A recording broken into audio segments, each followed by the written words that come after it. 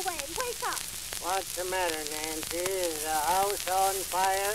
It might burn down for all you know about it. It's time for the folks to come to the party. I do believe they're coming now. Well, let 'em come. They're welcome. I don't know how the thunder fellas can sleep with them children making all the noise with them toys. Nancy, where's my boots? Merry Christmas and a Happy New Year. Wonder what in the thunder's in my boots.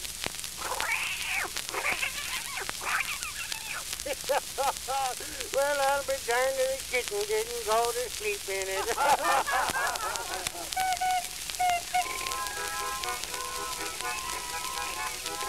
Well, did you ever hear such a wreck? Oh, oh, limit me in the eye. well, now let me see. I guess you're more scared than hurt. Just put a snowball on it for a minute and it'll be all right. Say, Uncle Josh, can't we play some games? Well, I guess is how you can. Well, let's all play the needle's eye. All right, play needle's eye.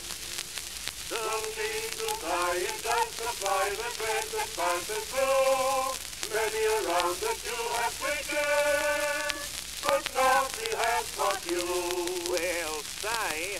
Got to Nancy.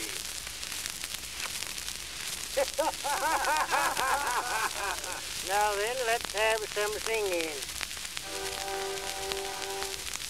Ring the bells of heaven, there is joy today, for a soul returning from the war.